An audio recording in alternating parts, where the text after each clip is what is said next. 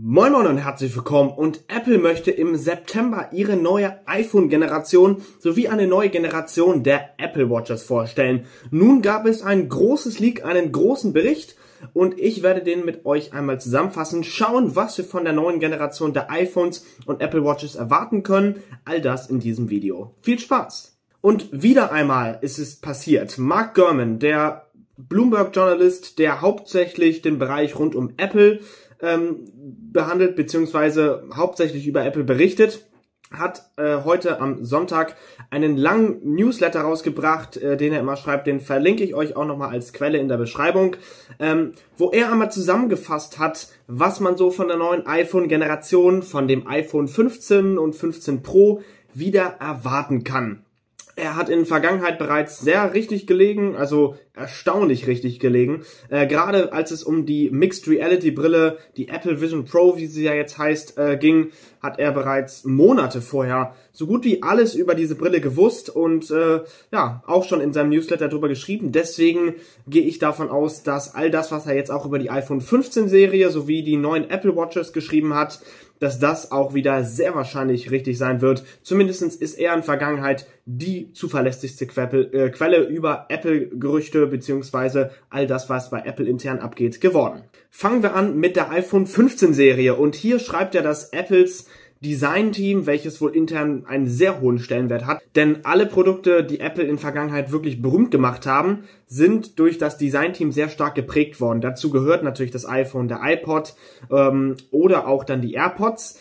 Und dieses Design-Team, das scheint wohl einen Traum gehabt zu haben, beziehungsweise wollen sie ein iPhone herstellen, was nur aus Display besteht, also keine Notch, ähm, nicht das, was das iPhone 14 Pro jetzt hat, sondern wirklich nur ein auf der vorne nur ein Display und hinten die Kameras. Und diesen Traum haben sie mit dem iPhone X bereits angefangen, dann mit dem iPhone 12, dann mit dem 13 und jetzt dem 14 Pro, ähm, wo sie das Display immer größer gemacht haben, beziehungsweise die Display-Ränder kleiner gemacht haben und probiert haben, diese Notch aus dem Weg zu kriegen.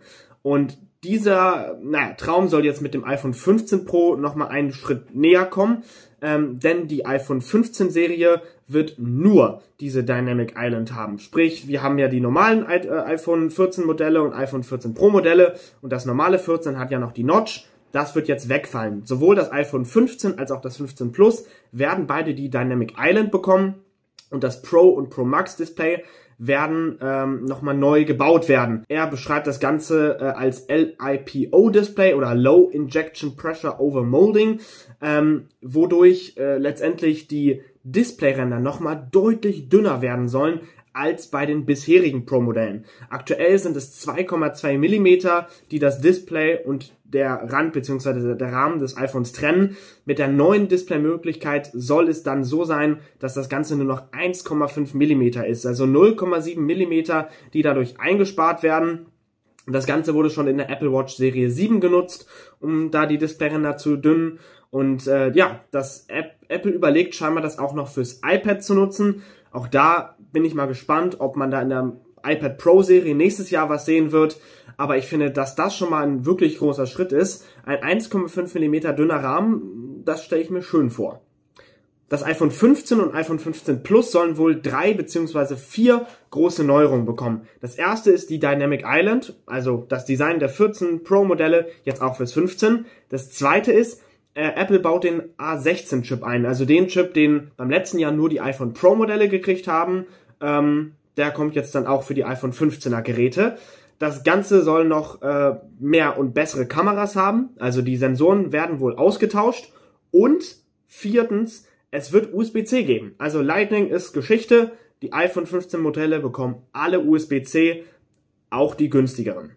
Das wird vor allem auch damit zu tun haben, dass die EU eine Richtlinie äh, verabschiedet hat, die Firmen zwingt bis 2025, 2026 äh, alle Smartphones beziehungsweise technologischen Geräte auf einen einheitlichen Standard zu bringen, nämlich, oh Wunder, USB-C. Und Apple scheint dann einfach jetzt das Ganze schon zu machen, um verkaufen zu können. Leute, ihr wolltet es immer haben, jetzt bekommt ihr es und das hat die Vorteile, nämlich schnellere Datenübertragung, einheitlicher Standard Und ich denke, dass wir das jetzt auch bei allen Geräten sehen werden, die noch kein USB-C haben. Die iPads haben es ja schon, die MacBooks haben es ja schon. Wahrscheinlich werden wir das dann auch bald bei den AirPods sehen.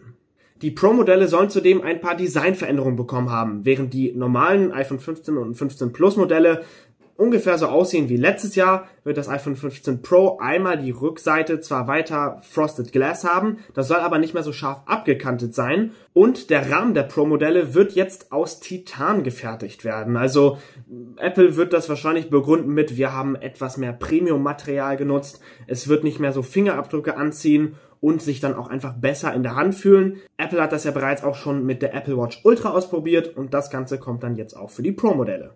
Eine große Änderung, die wir gar nicht sehen werden, wird sich auch im Inneren der Geräte befinden, denn das iPhone 15 Pro ähm, wird im Inneren neu gestaltet werden. Sprich, man wird das so anpassen, dass es vielleicht auch einfacher ist, selbst zu reparieren. Auch da gab es eine EU-Richtlinie, äh, wo die EU gesagt hat, alle technologischen Geräte sollten auch selbst reparierbar sein.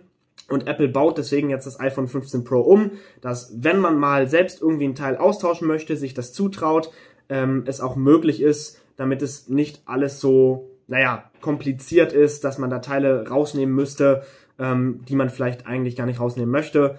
Das soll damit dann einfacher werden. Ein großes Update wird es auch für die Kameras geben. Äh, Mark Gurman schreibt, dass die Linsen ausgetauscht werden und zumindestens beim größeren Modell ähm, auch ein größerer Zoom eingebaut werden soll. Also das, was Samsung ja mit ihrem hundertfachen Zoom so immer groß bewirbt, dass das das iPhone ja nicht hat. Das soll jetzt in der neuen Generation zumindest verbessert sein, auch wenn er da keine Angaben macht, inwieweit das verbessert wurde. Also 30-fach, 50-fach, 100-fach, das steht noch nicht fest. Während die iPhone 15 Modelle ja jetzt den A16 Prozessor nutzen, wird das iPhone 15 Pro und Pro Max wahrscheinlich auf einen A17 Prozessor, auch wenn er den nicht so nennt, äh, setzen. Der wird jetzt in einem 3 Nanometer Chip Verfahren ähm, gebaut werden. Sprich, der wird energieeffizienter und schneller sein. Könnte natürlich einer der größeren Schritte mal wieder sein. Auch da ist noch offen, inwieweit der schneller als der A16 ist. Aber natürlich, die neuen iPhones werden schneller, besser, toller. Ein großes Feature, was Apple ebenfalls geplant hatte, sollte wohl sein, dass man die physischen Knöpfe, also lauter, leiser sowie der Mute-Switch an der Seite komplett entfernt und dann nur haptisches Feedback nutzt. Sprich, man hätte lauter oder leiser gedrückt, man hätte äh, durch Vibration ein Feedback bekommen und damit dann vermieden, dass man weitere Teile hätte, die kaputt gehen könnten. Ähm, und naja, man hätte auch natürlich Geld sparen wollen. Äh, das hat aber nur in der Entwicklung für Probleme gesorgt. Man hat gesagt, okay, das könnte zu teuer werden oder es hat einfach nicht voraus äh, funktioniert, wie man das machen wollte. Das Projekt hieß wohl intern Bongo ähm, und wurde am Ende gecancelt. Das heißt, es gab erste Renderbilder, die auch schon im Internet rumflogen und alle gesagt haben, wow, ähm, Apple entfernt jetzt die physischen Knöpfe. Dann gab es nochmal Renderbilder, wo es dann hieß, äh, nee, Apple entfernt sie doch nicht äh, und nur den lauter-leiser-Knopf, äh, dieser Mute-Switch an der Seite, der wird jetzt wohl ersetzt werden mit einem sogenannten Action-Button. Ähm, da gibt's dann verschiedene Möglichkeiten, wie man den dann drückt, äh, beziehungsweise ob man dann langer, länger drückt oder zweimal drückt und dann kann man Sachen umstellen wie den Fokusmodus, bitte nicht stören, ähm, die Taschenlampe anschalten. Und das wird dann wohl der Ersatz zu dieser, zu diesem Projekt Bongo sein. Ob das vielleicht beim nächsten Jahr kommt, ist dann fraglich. Ähm, aber zumindestens ist das eine Causa, die im Internet für viel Verwirrung gesorgt hat und damit dann jetzt auch gelöst wurde.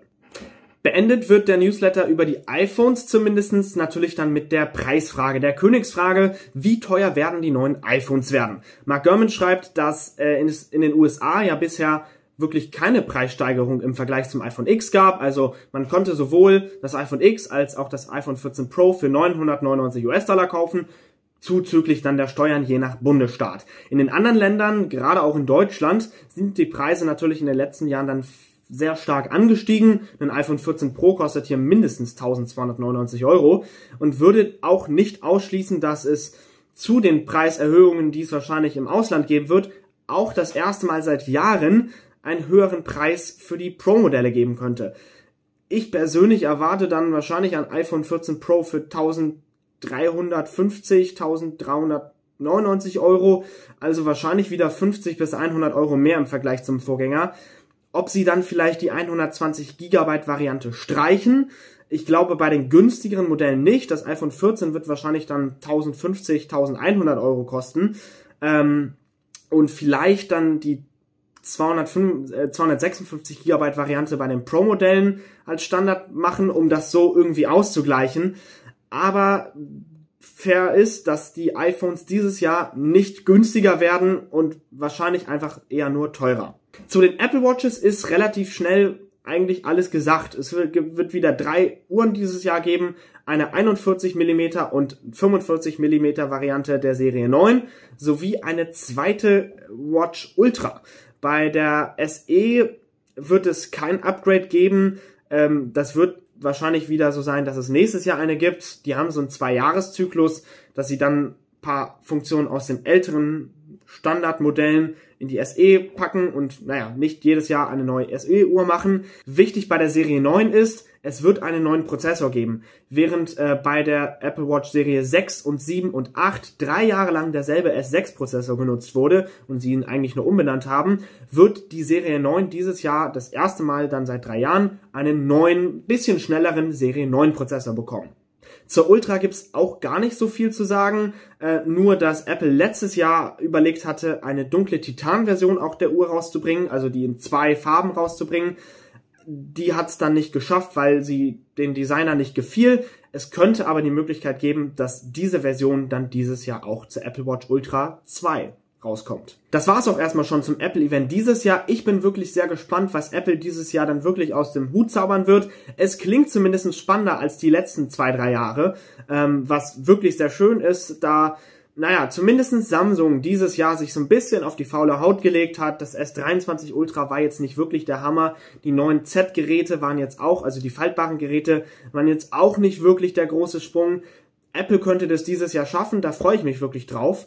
Was haltet ihr denn so von den Gerüchten zum iPhone 15 und 15 Pro? Ähm, würdet ihr euch eine neue Apple Watch dieses Jahr kaufen? Schreibt es mir doch gerne in die Kommentare. Wir sehen uns dann im nächsten Video wieder. Bis dahin macht's gut, bleibt gesund und tschüss.